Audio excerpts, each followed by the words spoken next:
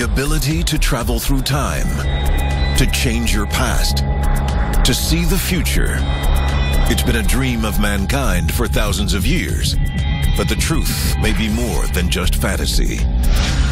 There is evidence that time travel is not only real, but exists today, controlled by an elite few in the present and visitors from the future. It is a power great enough to affect every life on our planet. If you travel back in time and you bump into somebody on the sidewalk or step on an ant, that the butterfly effect tells you that that in itself could alter humanity and alter history. But what happens when it falls into the wrong hands? What if somebody goes back in time before the evolution of the human race? What if they altered one species of animals that plays a role in our evolution, but we just don't know that connection? Those little types of effects could absolutely wipe out the human race altogether. It kind of sounds far fetched, but if you think about it, those little types of changes, if you were able to achieve time travel, could potentially wipe us all out. From catastrophic weapons of war to cryptic messages from the future. Tonight, we explore the greatest power of our entire existence. Join us as we unseal the secrets of time travel. What if the history you were taught in school was all a lie? Is our government controlled by a secret society? Welcome to the world of conspiracy, where cover ups, secrets, and hidden agendas all trace back to a single source. We're about to unseal the secret files the government doesn't want you to know about. This is Unsealed Conspiracy Files. 1941. War is raging in Europe. America has yet to join the fray. In Goldbridge, British Columbia, the South Fork Bridge is about to reopen after repairs. Hundreds of citizens show up to witness the event. In one photo released by a Canadian archive, there was a photograph taken on a reopening of a bridge. Now, what they did was they took a photograph of the entire crowd that was watching, and in the middle was this man that was completely out of place. From almost head to almost toe that you could see, it didn't line up. He is mysteriously out of place, holding clues that he may be a man out of time. Could this photo reveal evidence of a time traveler? The person in question has a unique hairstyle compared to those around him. His sunglasses seem futuristic for the 1940s. And under a hooded sweatshirt, he appears to be wearing a silkscreen t shirt. 20 years before the garment screen printer was even invented. But the most damning evidence of all could be what this strange man holds in his hands. What appears to be a modern camera, sleeker, more compact than anything of its day. So from head to toe, this gentleman just did not fit the time frame that the photograph was taken. Now, it was put on the internet by this archive, not expecting the reaction from the public. It spread like wildfire through the internet as proof that time travel exists. But who is he? Perhaps this is a question that could only be answered by a fellow time traveler. Seattle attorney Andrew Basiago claims to have traveled through time and space as a participant in a secret government program. Recruited as a child, Basiago supports his time travel declaration with this evidence a photograph taken in 1863, which he claims shows him as a boy at the Gettysburg Address. According to Basiago, in the late 1970s, the CIA partnered with DARPA to develop a top secret jump room in El Segundo, California. The alleged facility enables humans to bend the space time continuum at will. This device would have allowed instantaneous travel outside our planet, and even through time itself. If his claims are true, the CIA not only experimented with, but built operable time machines. This would allow an unrivaled power to control the destiny of the human race. While it may sound like science fiction, there is evidence that the U.S. government did obtain the technology and that it came from the same source as our modern rocketry science Adolf Hitler and the Nazis. Many people believe that the ultimate Wunderwaffe, the ultimate superweapon of the Nazi regime, would have been time travel. Imagine if Adolf Hitler and all of the people around him were able to achieve such a piece of technology. Imagine what that could do in respect to the war itself.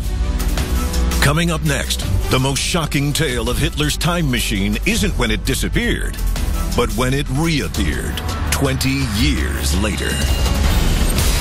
Unsealed. Conspiracy Files. Welcome back to the world of conspiracy. This is Unsealed Conspiracy Files. If possible, time travel would change the very nature of our reality. The power to control history is the power to control the present and the future. Could we prevent it from falling into the wrong hands? Or is it already too late? Unsealed case file The Nazi Bell. Toward the end of World War II, Allied forces were invading Germany. Nazi airfields were bombed beyond repair. Hitler was seeking technology to launch aircraft not dependent on runways. What he got may have turned into the most powerful weapon in history, a device known as Die or the Bell. After the war, an underground research facility was discovered. It was carved nearly 1,000 kilometers into the Sudeten Mountains. In these caverns, some believe Hitler's army developed his ultimate wonder weapon. The Glocke was purportedly a bell-shaped device that stood up to 15 feet tall. And it's been said that five of Hitler's top scientists may have died while working on that project. And those sacrifices mean that Hitler thought he was onto something. And here was their technology that used counter-rotating cylinders of a very heavy metal, liquid metal, called red mercury and by spinning them, by counter rotating them at furiously high speeds, it generated an intense field of radioactivity. And that became the power source for these weapons counter rotating fields of mercury. Experts believe Die Glocke may have originally been designed to power the Flytrap, an alleged launch pad for experimental Nazi aircraft. Reports say that the flytrap was used to launch anti-gravity aircraft. If the Nazis had actually developed anti-gravity aircraft, there's no way the Allies would have been able to keep up. But some believe Die Glocke may have had a greater purpose for the Nazis, one that could make them the most unstoppable army in the history of time. Some of the stories about this device describe that it had a mirror on top of it that allegedly allowed one to see images from the past. It is theorized Die Glocke would need to generate 100 million watts of electricity, enough to warp electrogravitational fields, thus creating an opening in time. One of the theories about Glocke as a time travel piece of technology is that it would create a torsion field around the Nazi bell. Whatever this piece of technology was, it would create this torsion field or this energy bubble, and that it would actually alter the four dimensions in the unified field theory.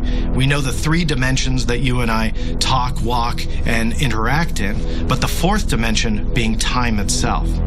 That what this torsion field does in conjunction with the Nazi bell is distort all of that and allow us to go forwards and backwards in time to change history. If this is possible, Hitler would have at his disposal a time machine. How would it have traveled in time? By creating vortices, they could shoot themselves through, pull space time around them. So operate off the assumption that the Nazi bell was a time machine and Hitler was able to actually create it. If he could just go into this object and go back to any point in time that he would want to, would be um, unstoppable. He can, in essence, do whatever he wanted, save Nazi Germany, and really fulfill his world domination desire. But in 1945, the Nazi regime was defeated. We will gain the inevitable triumph, so help us God. Before his death, Hitler allegedly ordered the Bell's destruction. Was the world's first time machine lost in the fog of war? Or was it used as the Nazis' final escape? In December 1965, over 20 years after Die Glocke disappeared, a strange bell-shaped craft heavy with radioactivity and glowing blue swept over the American border from Canada, over Michigan, over Ohio, making long S curves and slowly coming to a controlled crash landing outside of Kecksburg, Pennsylvania. Witnesses, interviewed by the local papers, reported a large crashed object nearly identical in description to the Nazi bell. They also claimed that a group of American soldiers arrived on the scene. Using a flatbed truck, the soldiers are said to have loaded the object and taken it away. Almost instantly, a group, a unit of American soldiers who wore no insignia and came with a flatbed truck were there to retrieve this object and take it away. People were warned keep your mouth shut. Don't talk about this. Could this tale confirm the true purpose of Die Glocke? Did Die Glocke disappear in time, landing 20 plus years later in Pennsylvania and then being taken to Wright-Patterson Air Force Base in Ohio, where for all we know, it sits there today, our own American time machine. Coming up next, the incredible story of an unlikely encounter with humans from the future and the shocking message they left behind. Unsealed Conspiracy Files. Welcome back to the world of conspiracy. This is Unsealed Conspiracy Files. Could the human race really discover how to travel through time? And if they could, have they done so already? History has left tantalizing clues that time travel is possible. One piece of evidence that many claim is proof of time travel are ancient Egyptian hieroglyphics. That on the walls of some Egyptian temples and in their artwork are symbols that actually represent what we would call today as airplanes, as helicopters, as blimps, as pieces of technology that they didn't have in ancient Egypt, and yet they were drawing it on their walls. Many ask, how did they know? Is this proof that they themselves were able to travel through time, maybe see the 21st century technology that they chronicled on a temple wall? Was that technology able to travel back in time? I mean, there's a lot of theories on what it could mean. But even more compelling is a message seemingly brought to us from the future. On December 26, 1980, security personnel from RAF Bentwaters in the UK went out into Rendlesham Forest to investigate a series of lights where radar said an aircraft might have gone down. Upon entering the forest, Sergeant Jim Penniston and his partner John Burroughs encounter a strange aircraft that lands right before their eyes. They approach the craft, and Sergeant Penniston places his hand on the surface. As he does, Penniston is frozen while a mysterious code is beamed into his mind. A telepathic communication. I had an explosion of, of white light uh, where I couldn't see. I was blinded. And I uh, started seeing ones and zeros flashing. I mean, it was like inside my uh, mind's eye. Penniston is shaken by his contact with the craft and the vision it leaves behind. But even more incredible, John Burroughs maintains a different memory of the event entirely. I do not remember seeing Jim walk around the craft. I do not remember touching the craft. What I clearly remember was we got close to something, and the next thing I know, it was it appeared to go up into the sky and then shoot out towards the coast. Afterwards, the two soldiers realize that the times on their synchronized watches are off by almost 45 minutes. When John Burroughs and Jim Penniston returned to base, it transpired that more time had elapsed than they realized. Moreover, there was discrepancy in their wristwatches. Time, it seemed, not only had run on, but had maybe run at different speeds for them. Now, this takes us to some quite extraordinary territory, but when you talk to both John and Jim, and indeed to people who looked at this case, some quite extraordinary theories are being bounced around ideas of time travel. How could the contact with this strange craft cause a bend in time? According to Penniston, the answer is hidden within the coded message. For decades, this series of ones and zeros remained a mystery. But 30 years after the incident, Jim Burrows was examining the code and realized what Penniston had received. As we were going through the book, he came to some pages that had zeros and ones on it. I looked at it and I said, these are binary codes. The team had the code deciphered, revealing a shocking message. Exploration of humanity. Then latitude and longitude coordinates. Continuous for planetary advance. Penniston had long suspected that the UFO he had seen in the woods was alien in origin, but the coordinates within the code indicated a different explanation. They fell on the location of a forgotten island off the coast of Ireland, known as Hy-Brasil. Hy-Brasil has sometimes been dubbed Celtic Atlantis. It, it's a, a sort of lost land, a mythical country, as it were, that some believed was the site of an advanced civilization. According to legends, those who have seen Hy-Brasil reported a land filled with an advanced and wealthy civilization whose architecture consisted of golden towers and majestic domes. What Jim Penniston initially believed to be a message from the stars turned out to be a mysteriously earthly communication. And the most shocking detail was the postscript on this code. The message on the page says date of origin 8100. Date of origin 8100. Could this signature be telling us the year these travelers had come from?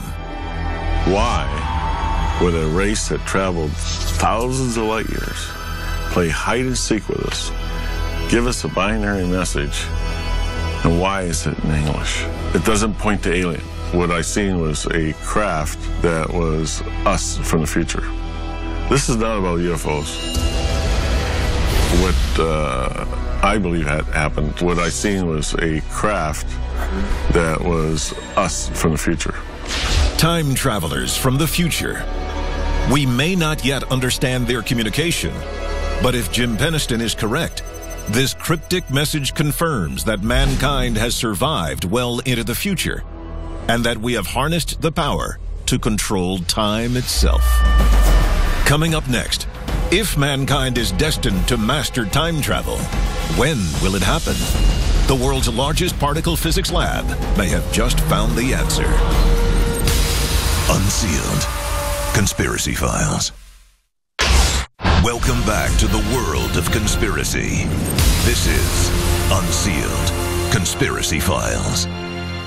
The time to act is now. There are three simple steps you can take to unseal the truth. Follow on Twitter. Follow the Unsealed Twitter feed to receive breaking news of the latest conspiracies as they develop. Tell your story. What did you see that you shouldn't have? The government's known about it all along. Why has nobody told us? Upload stories and pictures to our interactive map. Join the movement. Get the unsealed bracelet and the unique code hidden underneath to access exclusive content. Stop living in the dark. It is definitely coming this way. Get involved in the fight to unseal the truth. Now. Albert Einstein once theorized that traveling near the speed of light would change how a body moved through time relative to another.